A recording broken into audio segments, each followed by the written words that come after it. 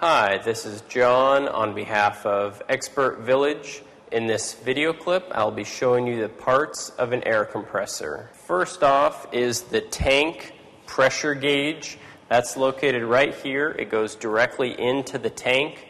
This is going to tell you the actual pressure inside of the tank. Next, we have our on off lever.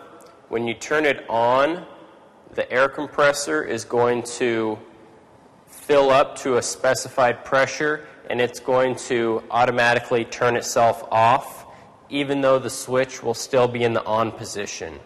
Now, when you use your air compressor and your pressure gets low, the switch is going to stay on and the air compressor will automatically kick on, fill back up, and then turn itself off, all while the switch is still in the on position. Next, we have our regulator pressure gauge and our regulator.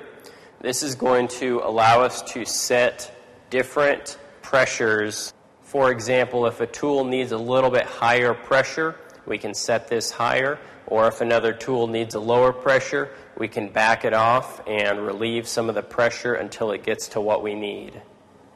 Here we have our coupler. This is what our hose is going to plug in, and on the other end of our hose will be a tool.